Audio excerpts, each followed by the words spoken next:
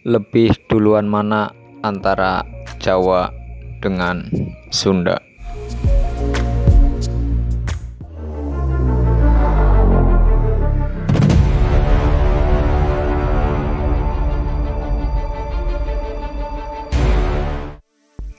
Apa kabar Oren Mania? Mungkin judul video ini sedikit kontroversi, tapi ini dipakai karena sudah banyak beredar sejarah tentang asal-usul kedua suku ini dari berbagai versi. Saya di sini hadir tidak untuk menentukan siapa salah atau siapa benar, karena setiap versi yang muncul akan membenarkan menurut versinya.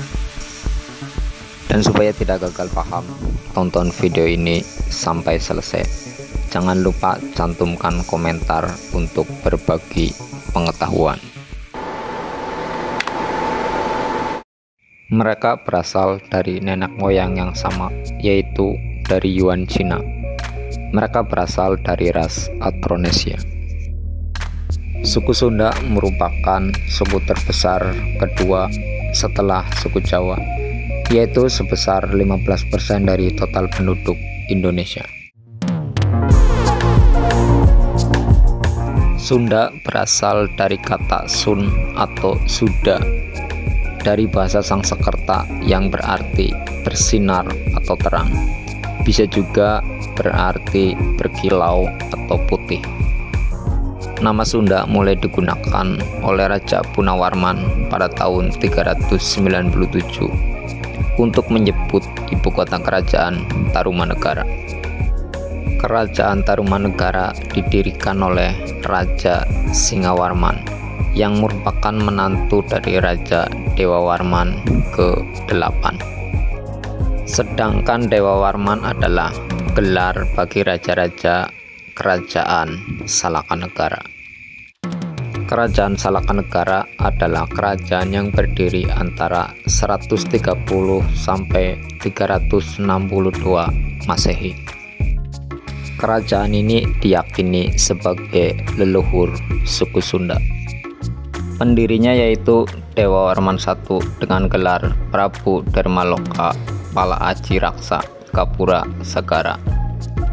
Wilayahnya meliputi Pulau Jawa bagian barat dan pulau-pulau yang membentang hingga Pulau Sumatera.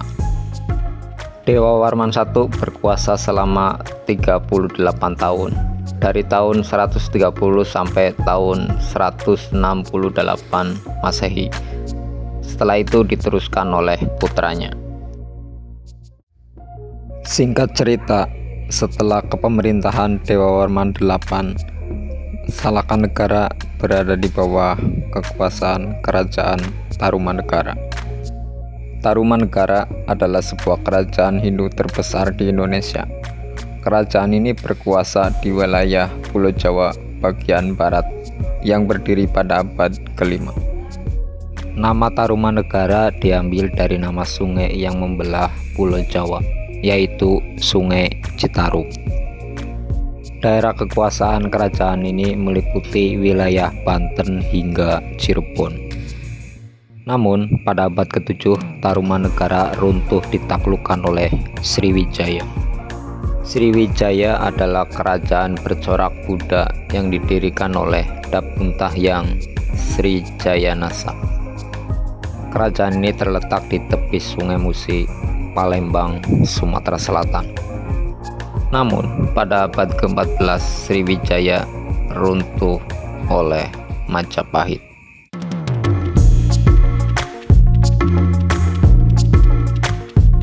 Majapahit merupakan kerajaan Hindu-Buddha terakhir di Nusantara pada abad ke-13 sampai abad ke-16. Kerajaan ini didirikan oleh Raden Wijaya yang merupakan menantu dari Kertanegara, yaitu pendiri kerajaan Singosari. Wilayah kekuasaan Majapahit meliputi wilayah Indonesia, Malaysia, dan Filipina tetapi tidak termasuk wilayah kerajaan Sunda. Kerajaan ini bercorak Hindu-Buddha dan wilayahnya meliputi wilayah Banten, Jakarta, Jawa Barat, dan sebagian Jawa Tengah. Kerajaan ini beribu kota di Pakuan, Pajajaran.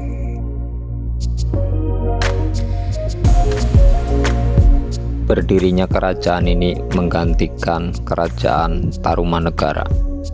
Karena kerajaan ini didirikan oleh Tarusbawa yang menikahi putri pertama dari kerajaan Tarumanegara sedangkan putri keduanya menikah dengan pendiri kerajaan Sriwijaya. Dan setelah kerajaan Tarumanegara berada di bawah kekuasaan kerajaan Sunda, akhirnya kerajaan Galuh memisahkan diri. Daerah wilayah kerajaan Sunda dan Galuh dibatasi oleh Sungai Citarum. Dan di wilayah timur, kerajaan Galuh dibatasi oleh Sungai Pemali yang sekarang berada di Kabupaten Brebes dan di bagian selatan dibatasi oleh Sungai Serayu yang sekarang sungai itu melintasi lima kabupaten yaitu Kabupaten Wonosobo, Kabupaten Banjarnegara, Kabupaten Purbalingga, Kabupaten Banyumas, dan Kabupaten Cilacap. Namun, setelah Tarusbawa meninggal, kerajaan Sunda dan kerajaan Galuh bersatu kembali. Kerajaan ini berpusat di Pakuan, Bogor. Kerajaan ini sering juga disebut Negeri Sunda atau Negeri Pasundan atau juga Pakuan, Pajajaran. Jadi, berdirinya Pajajaran tak lepas dari Kerajaan Tarumanegara, Kerajaan Sunda Kerajaan Galuh, dan Kerajaan Kawali. Setelah Pajajaran runtuh, sejumlah penggawa istana meninggalkan keraton dan menetap di Lepak Banten.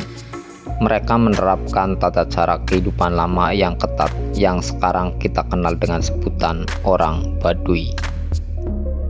Terus bagaimana dengan Sundalen?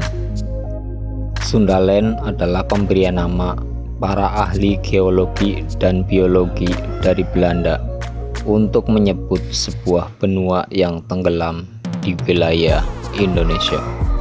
Saat itu, pemerintah kolonial Belanda sudah ada di daerah Pulau Jawa bagian barat, dan penamaan Selat Sunda sudah ada.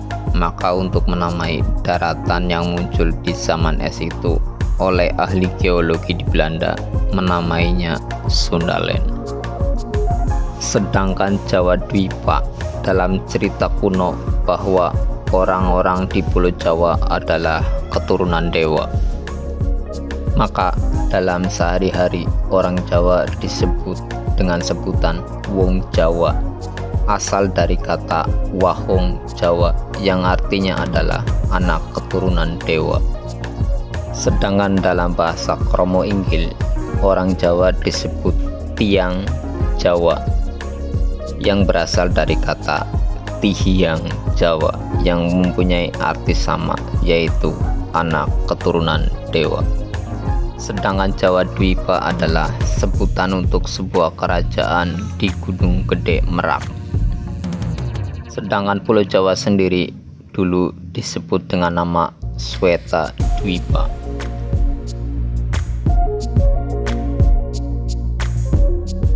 Jadi, berdasarkan secara-secara di atas, suku Jawa dan suku Sunda berasal dari nenek moyang yang sama, dan di antara mereka tidak ada permusuhan sama sekali. Semoga konten ini semakin memperkuat hubungan keduanya dan memperkokoh NKRI seperti yang dicita-citakan pendiri negeri ini. Semoga bermanfaat Mohon maaf bila ada kesalahan. Akhir kata, Assalamualaikum warahmatullahi wabarakatuh.